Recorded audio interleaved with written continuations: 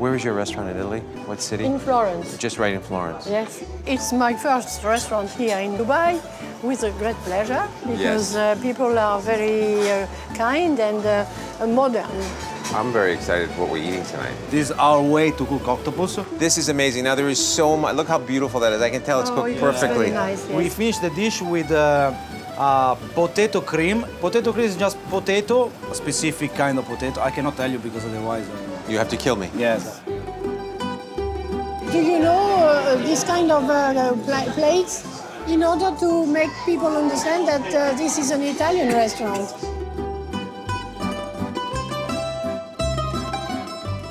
We understand that Dubai is a very, very nice place to do something because the level and the quality of the food is very high.